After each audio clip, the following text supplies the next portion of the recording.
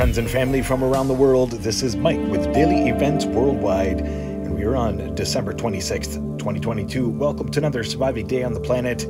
Welcome to the Daily Dew, giving you your space weather update, earthquakes, volcanoes, and world weather. And here we are looking at the last 48 hours of our sun, as we've seen quite a few C class flares, as our X ray flux remains in a C class right now but we're going to be watching this spastic sunspot that is cresting. Watch this on the right hand side. After that plasma filament took off, which I posted in earlier today in a video, left hand side, you're going to see that whip away. And then watch the activity here with this sunspot cresting in. Looking at the last 48 hours, quite a bit of activity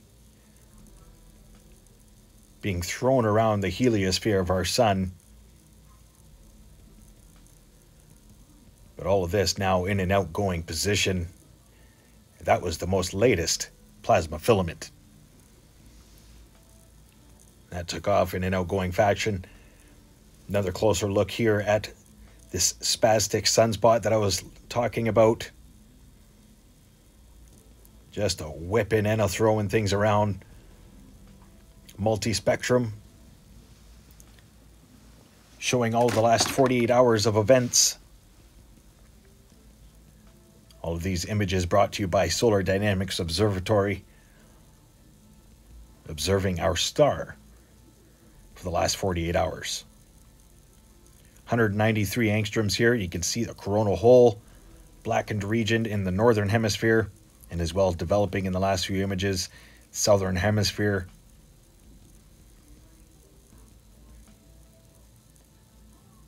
but nothing has been thwarted our way, and ISWA still has not updated from the last plasma filament eruption taking off from the bottom left of our sun. Quick look at our sunspots right now. Those are the blue regions. LASCO 2 showing the last two days of imagery, including today's eruption.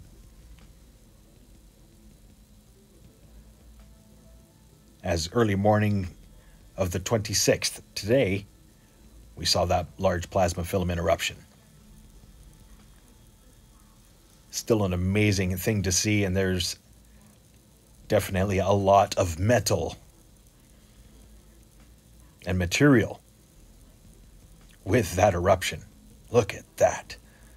Amazing stuff. Solar X-ray flux, as I said, is in C range and spiking right now Solar proton flux is picking up a bit as well.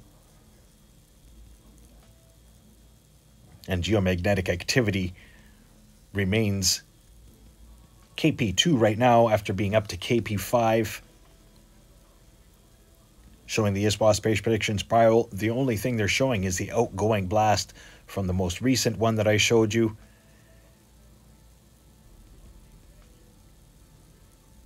But we're expecting some space weather here right at the end of the month, 28th, 29th. Having a look at our magnetosphere, this is our pressure, showing the immense pressure all around our planet right now being squeezed. And then our solar winds breaking it down here, the cut planes.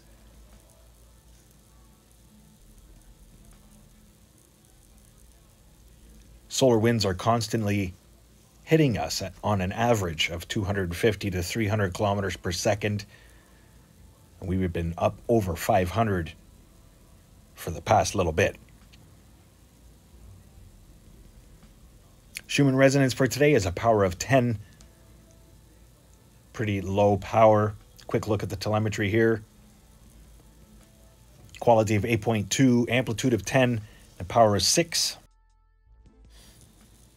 Now let's get to earthquakes for the past 24 hours. As we haven't seen much of an increase just yet, looking at about 220 earthquakes across the USGS map. We're going to start out here with a 5.4 Nazca plate Pacific rise, followed by a 5.1 South America, seeing some pretty deep activity today. Peru Bolivia border, and further south into Chile. With the 4.2 here, Calama. Scotia Plate, South Sandwich Islands, seeing a 5.1 and as well a 4.8. And that is right in front of the Michael volcano. Caribbean Plate, quiet today considerably. Across the North American plate, minor activity continues through Ferndale, California, 3.3, the largest through the region today. Hawaii, some activity coming back as well, especially around the Kilauea caldera. 4.4 here just recently. Atlasova, Russia, Kamchatka Island, right in between Bezymianny and Sheveluch. Izu Islands seeing a 5.1, 4.3. Bonin Islands region, some deep earthquakes all around the submarine volcanic chain into the Mar- Marianas Trench. Indian plate seeing some activity today, 4.1 China, 4.4 there looks to be Tajikistan, as well as 4.1 Iran. Ethiopia, pretty rare earthquake here today, 5.5 and a 4.6, and that's really close north to the Erta Ale volcano. So heads up as that is an erupting and active volcano. 4.2 there, Aegean Sea as well. Quick browse at the last seven days for earthquakes across the planet.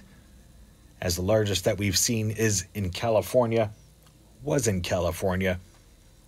And we've seen some deep movement this week, and the pressure is on right now with the space weather effects. Expecting something big to come here, especially with the couple rare earthquakes the African plate, and even further south towards the, the Antarctic plate, as we've seen that increase in activity. That's the last seven days around the world. Stay aware and prepared, and just have a plan if you are in an earthquake zone or prone for a large earthquake.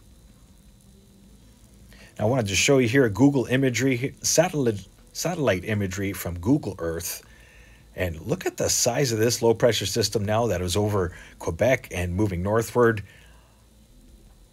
Literally, it's boxed out there, and this thing is 4,000 kilometers across. Low pressure center here over the Pacific as well, 4,300 kilometers across.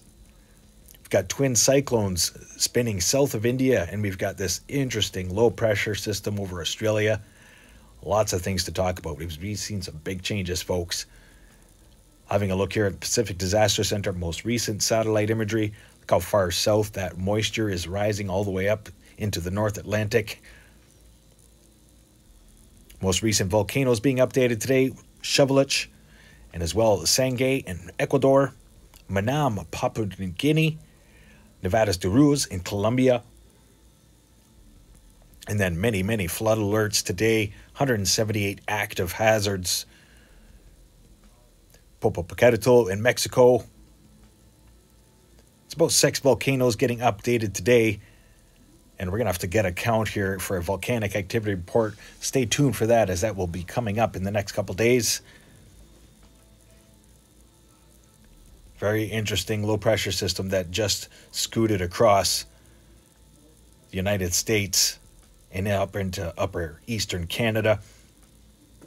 State of emergency has been declared through Niagara region and Buffalo, Fort, Fort Erie, as they've been buried in snow squalls and high drifts. Looking here over the Pacific Ocean, as there's a huge atmospheric river of moisture stretching from the Philippines to British Columbia overlooking the rest of the world. A lot of the systems hitting a large blockade over Europe, high pressure ridge over Africa, thwarting everything northward. We've also got Tropical Storm Darian, who is still alive. Was a Category 4 at one point and regained its strength again just a day ago. So that thing's been spinning for about nine days having a look at the weather forecast brought to you by windy.com and as well put together here with daily events worldwide. Large low pressure system invading west coast right now, atmospheric river of moisture. Watch for heavy rains and snowfall. Alberta Clippers going to be moving northward into Manitoba and Ontario this week. And then we've got a couple pretty warm systems heading up into Ontario. We're going to see above seasonal temperatures for the new year, especially with this large system. Watch for extreme weather right across southeastern United States and all Gulf states with that storm. These storms are getting bigger, they're getting stronger, and with our collapsed magnetosphere, they're winding up ahead of the coastlines and then finally making it over. Some very strange times we're living in, folks, and I'm grateful to have all of you along for this epic journey through the changes that we're going to go through together. Overlooking the rest of the world, no major systems affecting Africa except for daily evaporation rains, Zambia, Zimbabwe. Same with South America. Some stronger systems moving in for later in the week, but we will show you a detailed forecast when we get to that. And then we get to Southeast Asia, looking at the track of Cyclone Darian as it tries to head southward. We've also got this tropical system still winding its way over Australia.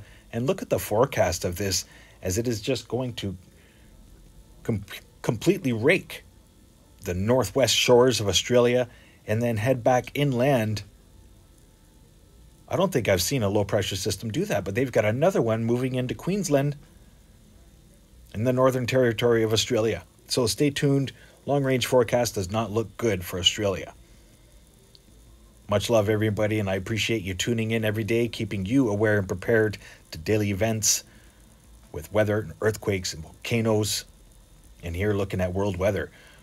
Looking at the temperature forecast over North America, as you can see, Lots of warm temps being pumped into Ontario this week.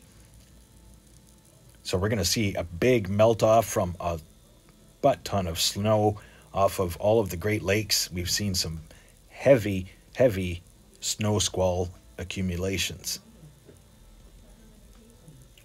Overlooking Russia and Europe, showing the invading polar vortex as it is whipping around our northern hemisphere right now.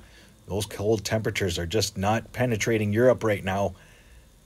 Big high pressure blockade over northern Africa. Thanks for watching today. I hope you enjoyed the video. Stay aware and prepared. Stay young and have fun. And get your daily Dew. Bye bye now. If you enjoyed today's video, please hit that like button, subscribe, share with your friends and family from across the world.